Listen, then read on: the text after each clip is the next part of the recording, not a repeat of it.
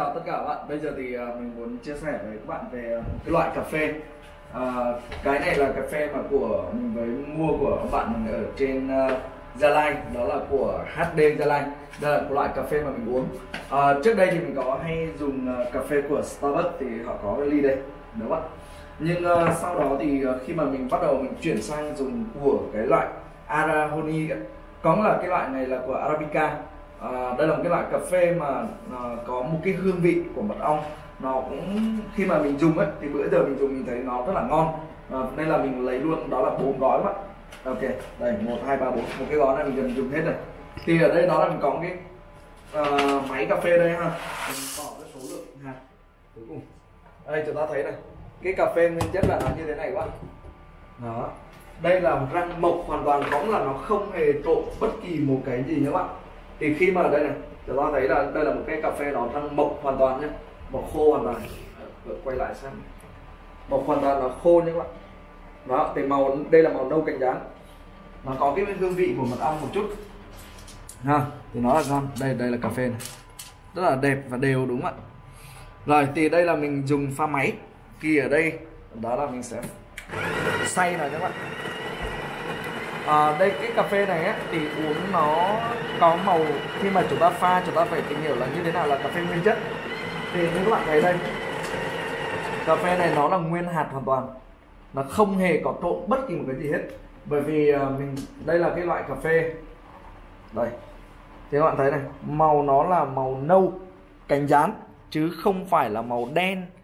À, giống như những loại cà phê mà chúng ta thấy ở trên thị trường. Bởi vì cà phê nếu mà đen ấy, thì nó là một là trong đó là có à, trộn à, cả bột đậu nành này rồi bắp mà người ta rang cháy lên thì lúc đó màu đen hoặc là cà phê nó đã bị rang cháy thì nó mới màu đen.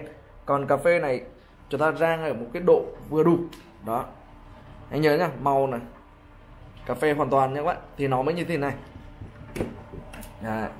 nên là trong cái bình thường chúng ta cũng hay có những cái nhầm tưởng là như thế nào là cà phê sạch à, chúng ta có những cái nhầm tưởng là cà phê nguyên chất đó là phải đen đắng sánh. Thì bây giờ mình đã cho các bạn thấy là từ cái hạt là nguyên chất nó không hề có trộn bất kỳ một cái gì thì nó màu nâu cánh rán và nó xay thành bột thì cũng là màu nâu cánh rán cho đến lúc bây giờ mình pha nó thành một cái ly này. Đây. Đây là mình đang pha cái espresso uh, double shot đó là hai ly nó giống như hai ly đấy. Thì mình sẽ lấy đi cho chúng ta một cái ly.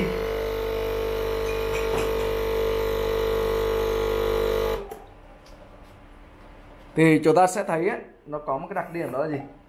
Nó có vị bọt bọt bọt đây này. Thì đó là cái này nó không phải là bọt nhưng mà nó là cái váng của cái cà phê. Thì nó váng như thế này. Thì bây giờ mình đổ sang đây nhé đổ sang đây thì nó trộn cái váng luôn rồi. Thì chúng ta thấy này đó là màu nâu này là nâu cánh rán giờ màu nâu cánh rán khác nhau chưa? Đúng không ạ? À, khác nhau nhá thì bây giờ nếu mà uống như thế này thì mình đơn giản bỏ đá vào là mình uống. Đây là một ly nó nguyên chất hoàn toàn. Thì cái vị của nó ấy, nó chua chua thanh thanh. Thì nó mới đúng chuẩn là cà phê. Ok các bạn chúng ta hãy nhớ nha vị của nó này. Thứ nhất đó là màu nâu cánh giá này thứ hai nó vị chua thanh thanh ấy. À, và ngọt phía sau thì mới là cà phê nguyên chất 100% còn nếu không là chúng ta rất dễ bị nhầm là cà phê đen đắng và sánh. Thì bây giờ chúng ta thấy đây nước cà phê hoàn toàn thì nó như thế này đúng không ạ? Và đây là mình pha bằng espresso có nghĩa là cái ly này nó nguyên chất hoàn toàn và nó được à, xay bằng xay bằng máy thì các bạn biết là nó còn lọc được nhiều cái tinh chất cà phê hơn cả việc mà chúng ta pha phin. Bởi vì nó ép xuống mà nó ép cái nước xuống thì nó ra hoàn toàn là tinh chất. Thì chúng ta thấy này, nó rất là lọc. Thì nó khác với việc mà chúng ta pha cà phê. Thì ở đây thì với cái máy này đó ở đây đây. Thì mình có thể mình ờ, bỏ sữa tươi vào đây và mình có thể làm một cái ly đó là latte hoặc là một cái ly về uh, um, gọi là ly gì nhỉ? À, mà có sữa tươi đó à, latte tự nhiên mình mình quên cái tên. Đó thì nếu mà đơn thuần là cà phê không à, thì đó là về espresso. Còn nếu mà chúng ta thêm một cái um, uh, sữa tươi có thể là latte hoặc là cappuccino đó thì chúng ta chỉ cần bỏ sữa tươi vào thì ví dụ những cái máy này chúng ta có thể mua cà phê và chúng ta bỏ vào cái máy này. Nó rất đơn giản. Thì sữa tươi chúng ta bỏ vào đây sau đó chúng ta pha vào đây. Còn ví dụ như bây giờ thì mình uh, uống đó là một cái ly cà phê đen hoàn toàn. Uh, mình vẫn thích một cái ly cà phê nó hoàn toàn là đen. Thì đơn giản bây giờ mình chỉ cần bỏ đá vào thôi là xong. Đó. Đúng không? Mình chỉ cần bỏ đá vào thôi. Đây đây đó mình chỉ cần chúng ta thấy bỏ đá vào là ly nó hoàn toàn là màu nâu cảnh dáng đúng không ạ? Nó khác.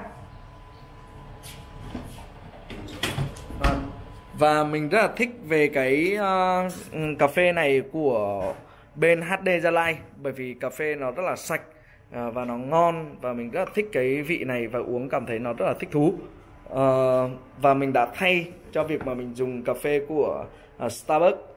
À, và dù, dù cùng với à, một cái chất lượng và thậm chí là mình thấy rằng là cà phê này nó ngon hơn nữa nhưng á là nó lại rẻ đến hơn à, 1 phần tư.